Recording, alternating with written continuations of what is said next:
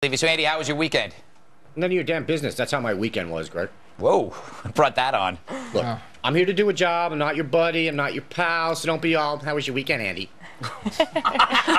I said I was sorry. I didn't know that was your Kashi breakfast cereal bar. Next time, put your damn name on it. You knew damn well it was my breakfast bar. You don't even buy breakfast bars or anything for that matter. Yeah, I guess rent money just somehow falls from the sky. Oh, that's a laugh. Are you so doped up you don't even know I've been covering your rent for the past six months? Andy, as you know, now that you brought it up, I have a health problem that requires medication. And if that medication goes above and beyond what can be legally prescribed, then that, sir, is not my fault. Good day.